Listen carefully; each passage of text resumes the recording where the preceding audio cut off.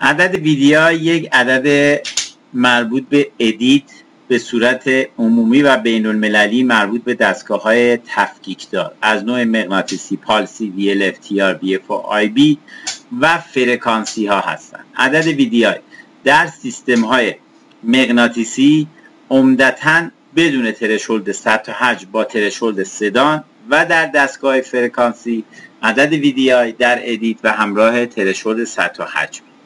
اینا تنظیمات پایه‌ای برای یابنده ها، معدن یاب ها، رادارهای زمینی دستی و فلزیاب های تفکیک داره.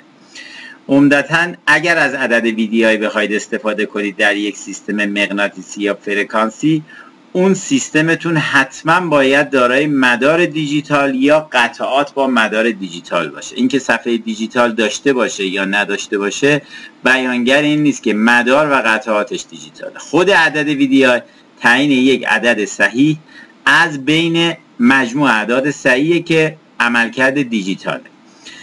باید با سیستم هایی که فرکانسی هستن عدد ویدیایی دارن شما کد اون هدف مورد نظر رو تعیین کنید و ترشولد و اندازش رو در مقابل در کنارش تا بتونید جداسازی رو داشته باشید. هر فلزی هر منبعی هر هدفی و هر حفره کوچیک بزرگ متوسط یا کانالی عدد ویدیوهای خاص خودش به همراه ترشولد داره که اپراتور می‌تونه اون در دستگاه های تصویری یا دستگاه های آنتنی در دسته فرکانسی ها بهره ببره. در نوع عمل کردی با دستگاه های مغناطیسی شما می‌تونید تمام مراحل رو با همون اعداد یکسان در سیستم های فرکانسی در VDI ش بهره ببرید و یکسانه. این اعداد چون بین المللیه کد آلمینیوم کد طلا یا عدد VDI ی طلا یا عدد VDI ی نقره. چه در مغناطیسی ها چه در فرکانسی ها و همه آلیاژ ها و فلزات یکسانه. یعنی یک عدد که چه در مغناطیسی ها بدی چه در فرکانسی ها بدی میره اون نوع هدف تفکیک می‌کنه.